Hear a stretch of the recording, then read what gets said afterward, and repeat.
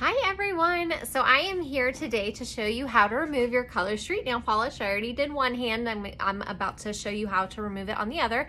Um, really, you can use this for removing regular nail polish um, and lots of other ways that you can um, use this method too. This is how I do it every single time.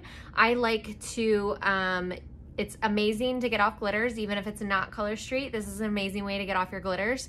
Um, but again, this is how I do it every single time that I take my nail polish off. So first, um, I am going to show you guys, this is one of my favorite products um, that's not Color Street.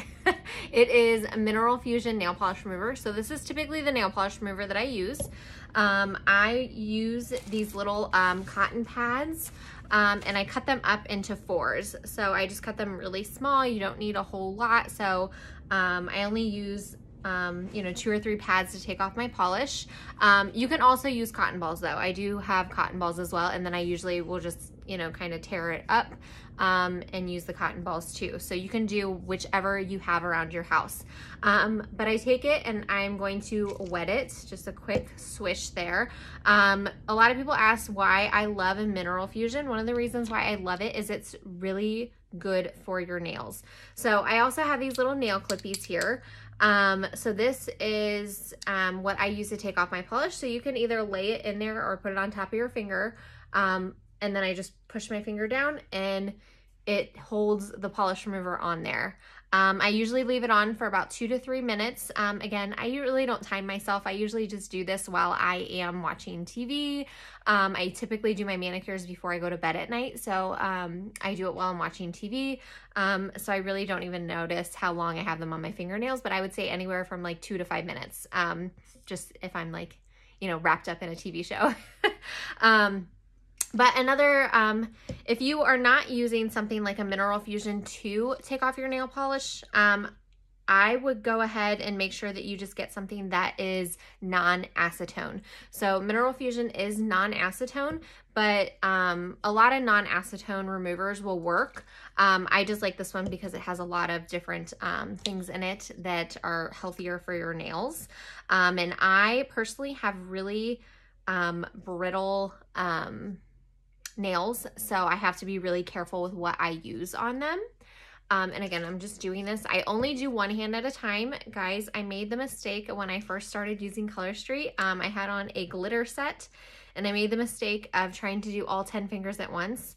And it ended up looking like a glitter explosion when I went to go take them off because I had um, 10 on and it was really hard to get the clippies off with um, so many on your nails. So um, I do them one hand at a time now um, and I take my time. So I'm going to keep these on here for just a minute or two um, and let that soak in. Um, another thing that I'm going to share with you guys today is a base coat. So you do not, like Color Street is all in one. Um, so it is a uh, base coat uh, color coat and a top coat. So you do not need to use anything other than Color Street. Um, but if you do have really brittle, um, bendy nails, I would say, um, they're thin, maybe they're cracking, maybe you had shellac or something on them, um, acrylics, and you're trying to repair them, you can use like, um, I love the Nail Envy. I don't know if you guys can see it. It's a little bit, um, but it's Nail Envy for soft and thin nails. Um, so I occasionally will apply this underneath my polish um, if, you know, my nails are starting to get thin or something like that. Um, they are actually doing really, really well. Um, I did break my middle one, but typically they're a little bit longer than this. I just kind of filed them all down a little bit. Um, and then a couple like tidbits while we're waiting for these. Um, and you can even like twist it around in there. I kind of move around so that way the polish comes off a little bit um, while it's in there. I do have two layers. So on these two nails, I have two layers of polish. Um, so I did double up on those two. Um, so you can double layer your polish, which I'll get to that in a different video. Um, but anyways, um, I do love our um, we have like a Color Street nail file. It's not for sale. Um, I do give it to my hostesses though if they do ask for it. So um, you do have to um, either book your own workshop or party. Um, so I love, love, love my color street nail file. Um, another thing that I'm kind of featuring today is when you spend $50 with me, um, and this is throughout the party, it doesn't just have to be today. Um, if you spend $50, you're gonna get a free starter kit. So what this has in it is the nail clips. So it comes with five nail clips, um, a glass nail file, which when you get to the day to where I'm showing you how to apply a set, um, I will talk a little bit more about the glass nail file um, a rubber ended tipped cuticle pusher, which is amazing for applying your, your polish. Um, and then a 2Z sample for you to kind of practice with. Um, so I call it my little starter kit because it's kind of everything that you'll want to have um, to take off your polish, to put it on. Um, don't get me wrong, you can do Color Street without using any of that stuff in that bag um, but it just makes it easier, right? And we all like easy, we all like quick, and we all like fun. So I love um, I love giving those out to people and they love getting them. So um, that is one of the specials that I am doing. Um, so I think that's pretty much most of the stuff that I had to show you guys. Um, another thing, um, just for like general nail, nail care, I do not buff my nails. Um, I used to buff them um, and I realized since I have such thin and brittle nails, um, that it was not doing my nails any justice. It was just making them thinner. So I will occasionally buff them if I start to get any ridges in my nails. Um, but for the most part, I try to make sure that um, I am not buffing them. I will use this occasionally.